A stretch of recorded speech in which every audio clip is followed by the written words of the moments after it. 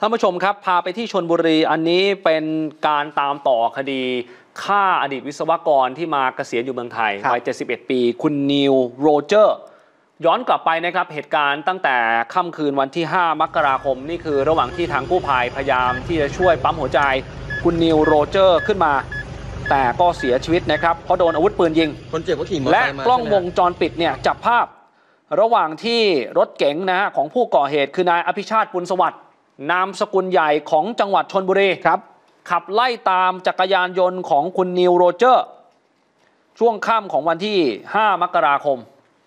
เนี่ยฮะเหมือนขับตาม เสร็จแล้วก็จะมีจังหวะที่เหมือนเลี้ยวขวาไปนะแล้วรถเก๋งของนายพิชาติเนี่ยสามารถที่จะไปหยุดอยู่ข้างหน้า แล้วก็เปิดประตูลงมายิงทางด้านของคุณนิวโรเจอร์ จนรถล้มครับแล้วก็เสียชีวิต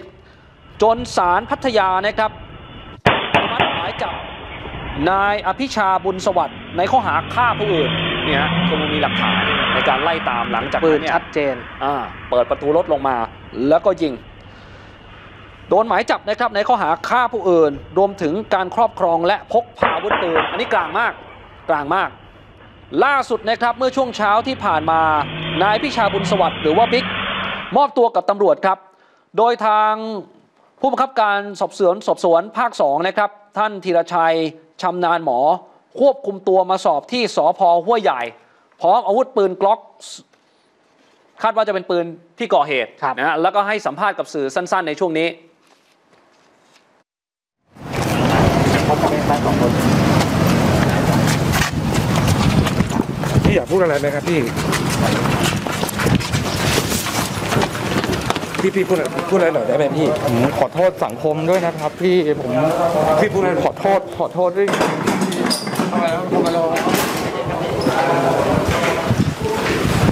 แล้วแล้วพี่ที่ตั้งใจยิงเขาเลยหรือเปล่าครับพี่ครับพี่ตั้งใจยิงเขาเลยไหมหรือว่าอันนี้เกิดเหตุเหตุเกิดเหตุเกิดเหตุการณ์เกิดขึ้นเพราะอะไรครับพี่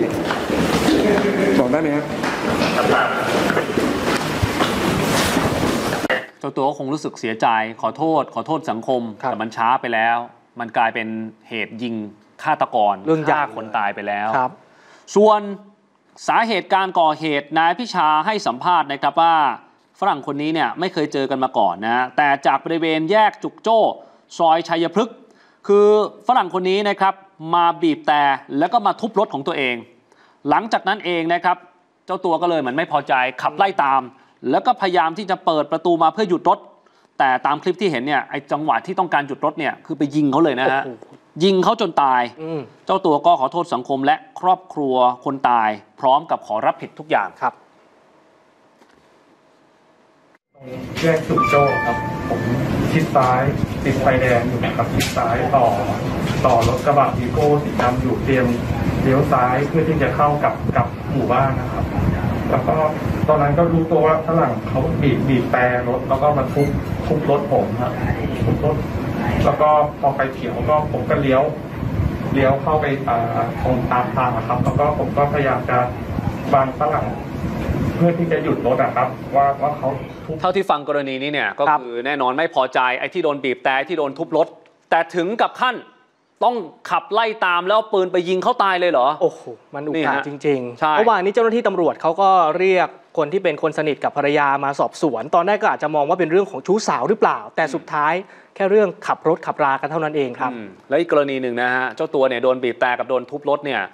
จริง ๆ ต้องพิจารณาตัวเองก่อนที่จะไปยิงคนอื่นด้วยว่า เอ๊ะ เราขับไม่ดีไปปงไปปาดอะไรเขาก่อนหรือเปล่าอืมนะฮะ แต่มันกลายเป็นคดีแบบนี้ก็ต้องรับใช้โทษกันไป ครับ